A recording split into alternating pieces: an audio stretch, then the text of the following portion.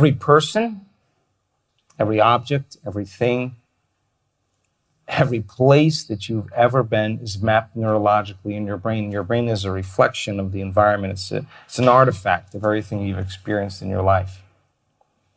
If we're not defined by a vision of the future, then, and we're left with the old circuitry of the past, it makes sense that the moment you open your eyes and your senses plug you into three dimensional reality, the moment you see the same person, you see that person based on the memory you have of them.